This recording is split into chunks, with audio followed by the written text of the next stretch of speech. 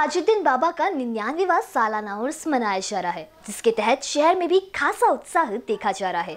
बड़ा ताजबाग भी रोशनाई से जगमगा उठा है, जिसका जायजा लिया हमारे संवाददाता मान ने। आइए देखते हैं हमारी खास रिपोर्ट में। आप देख सकते हैं मेरे पीछे कितनी भीड़ है। लोगों का विश्वास और प्यार बाबा के लिए हद से ज़्यादा है। और यही यहाँ पर लोग एक उम्मीद से आए हुए हैं कि एक बार बाबा के दर्शन हो जाएँगे। लेकिन कोविड के रूल्स को फॉलो करने के लिए दरबार बंद रखा गया है। आप क्या कहना चाहोगे उसके बारे में?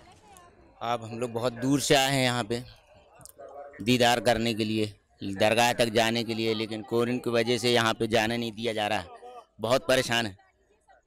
हम लोगों की आस लगी है कि बाबा के हम पहुँचे और एक उम्मीद है, है हाँ, हाँ। बाबा के दर्शन होंगे? होंगे अभी उम्मीद तो है। अब देखो शासन क्या करती है? ऐसा है। और बहुत दूर से आए लोग एमपी से आए हैं। सिवनी जिला जी। ऐसा है। जिला मंडला तहसील इतनी दूर से आया आपने ताज नगरी देखा होगा तो कितना खूबसूरत लगा। बढ़िया सजाया गया है बहुत अच्छा लग रहा है लेकिन बस यही है यही एक कमी है कि मतलब अंदर नहीं जाने दिया जा रहा है ना? तो हमारे आपसे गुजारिश है कि हम लोगों को अनुमति अंदर जाने की दी जाए। ये तो बाबा ही प्रार्थना सुन सकते हैं। हम सबकी सुनते हैं तो आपकी भी ज़रूर सुनेंगे और उम्मीद करेंगे कि जितने लोग दर्शन के लिए तरस रहे बाबा उनको एक बार दर्शन ज़रूर दे। बहुत दूर दूर से श्रद्धालु आए हैं। सबकी एक ही उम्मीद और एक ही आस कि एक बार बाबा के दर्शन हो जाए। बहुत दूर से आए हैं और कुछ लोग तो कई सालों बाद आते हैं सिर्फ़ एक उम्मीद में कि बाबा को अपनी दिल की बात बताएँगे। फिर भी दर्शन नहीं हो रहे हैं। कोविड के चलते हुए आप क्या कहना चाहोगे? पहले तो मैं सब में पहले हज़रत बाबा ताजुद्दीन रहमतुल्लाह के आस्थाने पे अपन लोग खड़े हैं और सारे श्रद्धालुओं को बाबा के निन्यानवे उर्स के मौके पे मैं मुबारकबाद देता हूँ। सेकेंड थिंग ये है कि महाराष्ट्र गवर्नमेंट और केंद्रीय गवर्नमेंट की जो गाइडलाइन है, वो गाइडलाइन के हिसाब से कैसा हज़रत बाबा ताजुद्दीन ट्रस्ट काम कर रहा है। रहा श्रद्धा का मामला। श्रद्धा का मामला है पुलिस प्रशासन और नागपुर महानगर पालिका और कलेक्टर जो महकमा है कि भाई इससे कोई ऐसा माहौल ना क्रिएट हो, इस बार नहीं करते हुए, आने वाले समय में करे, श्रद्धा के आस्था को ना ठेस पहुँचे, उसके लिए कैसा है कि ट्रस्ट जो है, वो बोल रही है कि भाई बाहर से दर्शन करो, पूजा पाठ जो आपको चढ़ाना है, वो बाहर से चढ़ाए। इतने लोग उम्मीद लेकर आ रहे हैं। और दर्शन भी नहीं हो पा रहे हैं। आप लोग कैसे हैंडल करोगे सारी भीड़ को? क्योंकि आज ये भीड़ बढ़ती जाएगी, अब ये रुकने नहीं वाली है। तो कैसे हैंडल कर पाओगे? क्योंकि बैरिगेड्स के बाहर भीड़ अब बढ़ रही है, क्योंकि हमने अभी अपने क्या, अपने दर्शकों को दिखाया कि भीड़ बहुत तेज़ी से आगे आ रही है।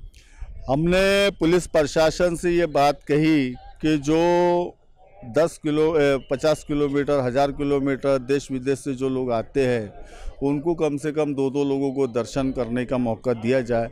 ऐसा रिक्वेस्ट कर रहे हैं और हमारी उनसे अभी बात चालू है।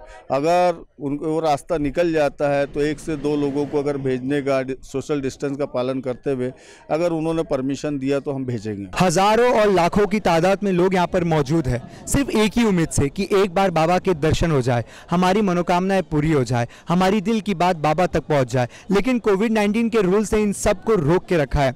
ऑथोरिटीज वाले लोग भी कुछ नहीं कर सकते, क्योंकि उनको भी सरकार की बातों को मानना पड़ेगा।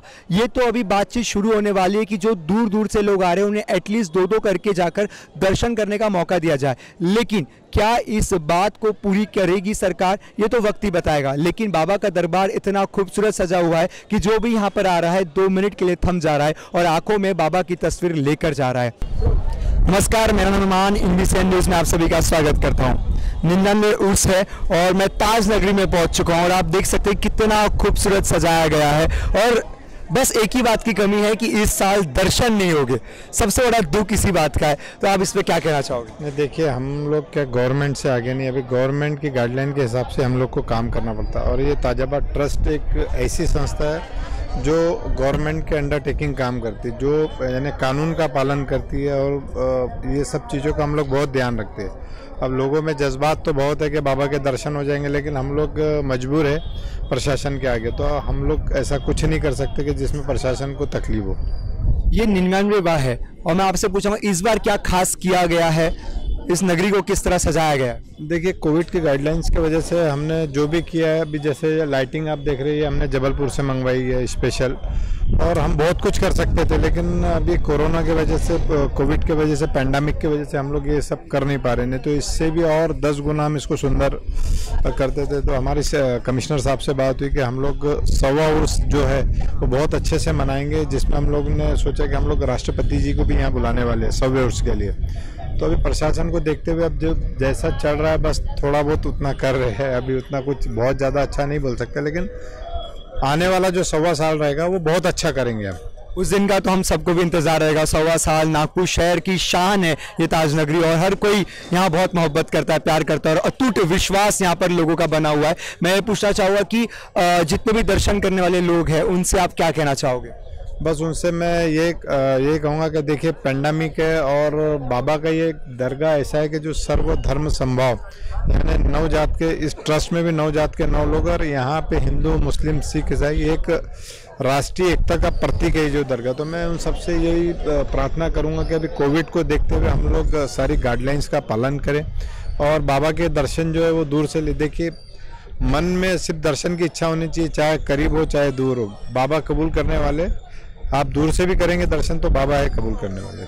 बहुत बहुत शुक्रिया हमारे साथ जुड़ने के लिए। ये थे प्यारे खान जी, जिनको हम ऑक्सीजन मैन भी कहते हैं। और मैं आपको ताज नगरी के दर्शन करवाता हूँ। देख सकते हैं कि कितनी खूबसूरत तरीके से सजाया गया है। जबलपुर से लाइटिंग्स मंगाई गई है और इसे इतना खूबसूरत बनाया गया है कि जो भी यहाँ पर आ रहा है पल भर के लिए थम जा रहा है और उनकी आँखों से ये दृश्य दूर ही नहीं हो रहा है। अगर आप एक बार यहाँ आ जाओगे तो आपकी आँखों के सामने चित्र बार बार आएगा और इतनी खूबसूरत तरीके से ये सजाया गया है। बाबा के दर्शन भले ही आपको बहुत दूर से होंगे, लेकिन जब जब आप यहाँ पर आओगे, आपको बाबा बहुत करीब नज़र आएँगे। मेहमान यहाँ से तो विदा, और आप देखते रहिए इन इंडियन न्यूज़ सच दिखाए, बिना छुपाए।